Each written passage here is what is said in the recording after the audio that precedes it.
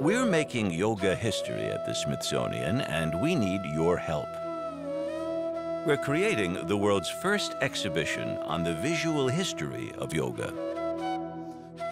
I'm really excited to be working on this exhibition, which brings together over 100 masterpieces of Indian art and some extraordinary prints and films to tell the amazing story of yoga and show the beauty, depth, and diversity of Indian culture.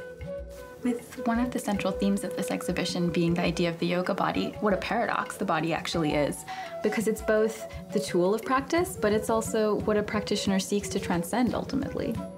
Sculptures and paintings created over almost two millennia shed new light on familiar practices, but they also illuminate hidden histories of practitioners who sought to transform themselves through yoga into immortal gods, and of women ranging from gentle gurus to dangerous flying goddesses.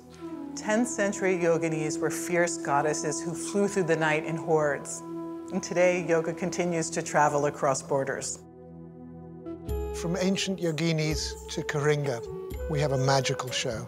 This is an exhibition drawn from 25 collections in Europe, in the US, in India, and bringing them here requires expertise and effort, but it also is very expensive.